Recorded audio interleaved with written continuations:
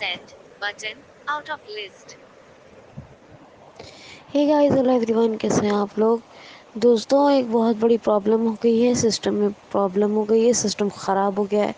वो भी ऐसा वैसा ख़राब नहीं सिस्टम पूरा ख़राब हो गया एकदम।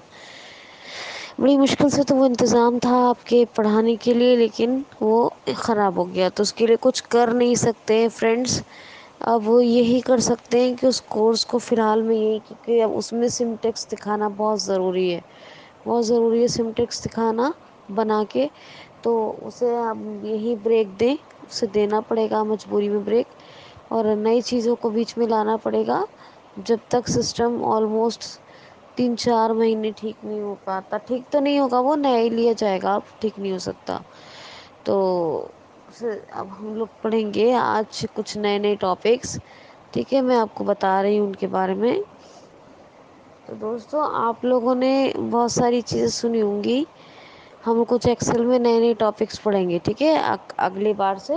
क्योंकि Excel is very very very not very बल्कि मोस्ट इंपॉर्टेंट तो हम एक्सेल के इंपॉर्टेंट टॉपिक्स पढ़ेंगे, जो आमतौर पे लोग पढ़ते ना तो पढ़ पाते हैं ना पढ़ा पाते हैं लोग, ठीक?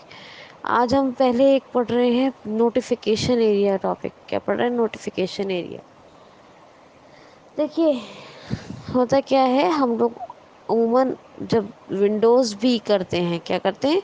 विंडोज़ भी तो हमारा जो कर्सर है, वो नोटिफिकेशन एरिया में चला जाता है. किसमें नोटिफिकेशन एरिया में? जिसमें हमारा इंटरनेट कनेक्ट है या नहीं है, अगर हमारे सिस्टम में वाईफाई ड्राइवर इंस्टॉल है तो वो हमें दिखाएगा कि इंटरनेट हमारा कनेक्ट है या नहीं है, या नहीं है तो वो भी बोलेगा no connection no internet connections are available या है तो बोलेगा उसका नाम कि एक्सेस बटन करके, और कोई नोटिफिकेशन है तो बताएगा कितने नोटिफिकेशन आ रखे हैं।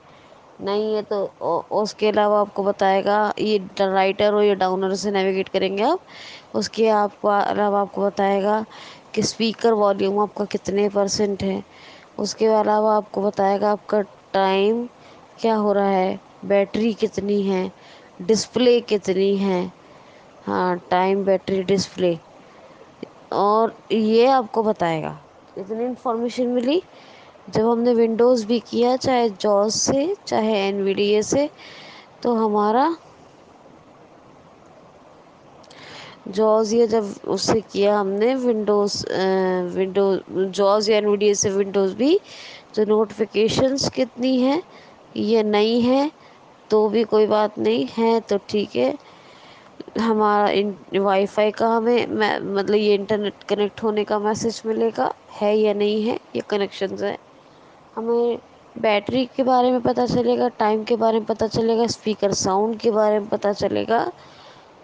ये चीज़ होती है, डिस्प्ले के बारे में पता चलेगा, इसको कहते हैं नोटिफिकेशन एरिया वैसे ये इंसर्ट एफ़ एलेवन करने से भी आ जाता है, पर वो हर किसी से एक्सेस नहीं हो पाता, इसलिए आपको मशवरा है कि आप दोनों सॉफ्टवेयर के साथ विंडोज़ भी करके ही एक्सेस करें। क्या करेंगे? विंडोज़ भी, याद रखना आप। तो नोटिफिकेशन एरिया कहते हैं इसको, ये बहुत ज़रूरी होता है, ठीक है? इसमें दोनों सॉफ्टवेयर वर्क करते हैं जॉज एनवीडी इनफैक्ट अगर नरेटर से काम करेंगे तो नरेटर भी वर्क करेगा। कौन करेगा? नरेटर ठीक है जी तो उम्मीद करती हूँ आज तो छोटी सी इंफॉर्मेशन थी, लेकिन इंपॉर्टेंट थी। बाकी अभी हम कुछ महीने एक्सेल पढ़ेंगे। उसके बाद फिर हम यहीं से डिस्प्ले प्रॉपर्टी के बाद से सीएसएस को कंटिन्यू करेंगे। तो enough for today thank you so much